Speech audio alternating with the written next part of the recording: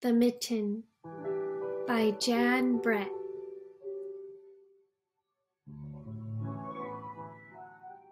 Once there was a boy named Nicki who wanted his new mittens made from wool as white as snow. At first, his grandmother Baba did not want to knit white mittens.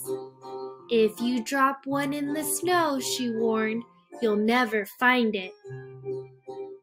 But Nicki wanted snow white mittens, and finally Baba made them.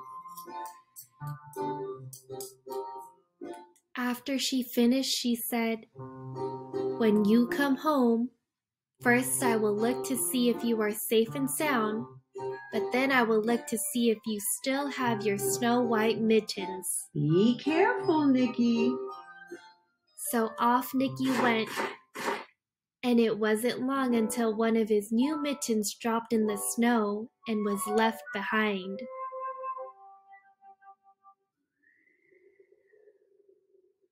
A mole, tired from tunneling along, discovered the mitten and Hmm. buried inside, but it was cozy and warm and just the right size, so he decided to stay.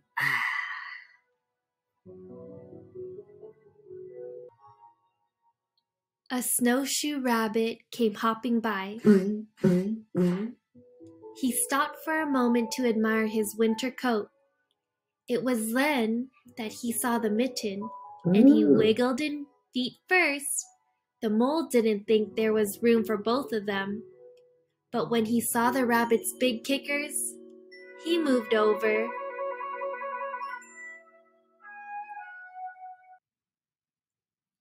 Next, a hedgehog came snuffing along.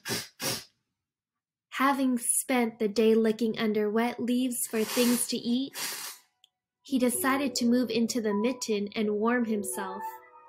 The mole and the rabbit were bumped and jostled, but not being ones to argue with someone covered with prickles, they made room.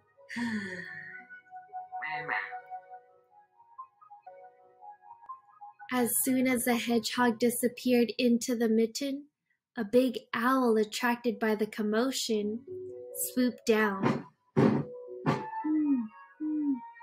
When he decided to move in also, the mole, the rabbit, and the hedgehog grumbled. But when they saw the owl's glinty talons, they quickly let him in. Up through the snow appeared a badger. He eyed the mitten and began to climb in. The mole, the rabbit, the hedgehog, and the owl were not pleased. There was no room left, but when they saw his diggers, they gave him the thumb. It started snowing, but the animals were snug in the mitten. A waft of warm steam rose in the air, and a fox trotting by stopped to investigate. Just the sight of the cozy mitten made him feel drowsy.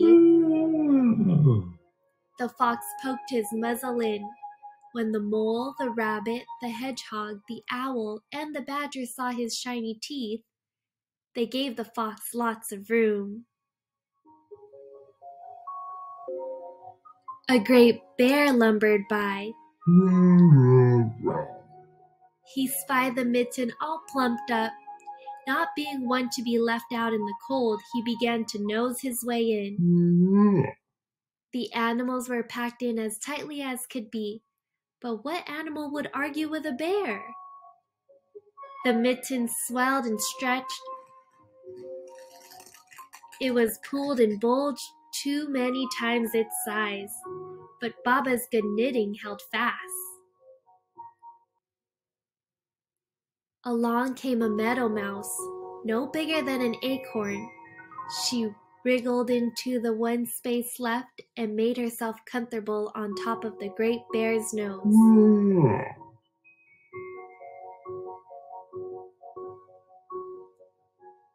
The bear, tickled by the mouse's whiskers, gave an enormous sneeze. Ha, ha, ha,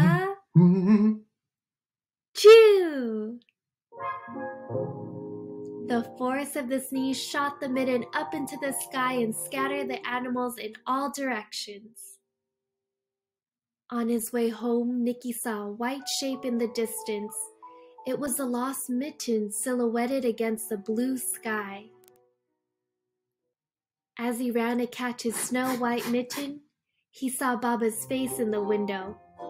First, she looked to see if he was safe and sound, and then she saw that he still had his new mittens. I knew he wouldn't lose it. What a good boy. The end.